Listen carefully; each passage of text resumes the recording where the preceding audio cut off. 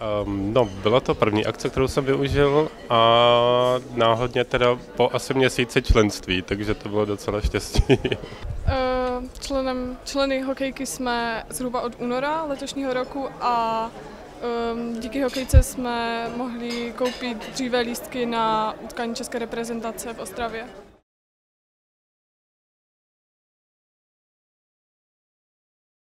Um, bylo to úžasný, fakt super zážitek. Uh, moc jsem si to užil rozhodně. Jsem rád za to, že jsem tady mohl být. Byl to moc pěkný zážitek, jsme rádi, že jsme se mohli zúčastnit.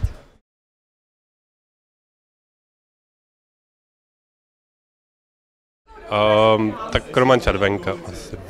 Hlavně teda uh, nejoblíbenější teda z těch, který jsem tady viděl. Tak koho bych mohla jmenovat, tak je určitě Roman Červenka.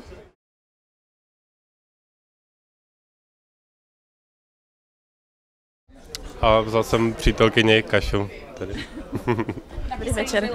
Ano, líbilo se mi moc, tak jsem ráda, že mohla jsem tady být. A jako doprovod jsem si přivedla přítele. A líbilo se? Ano, líbilo.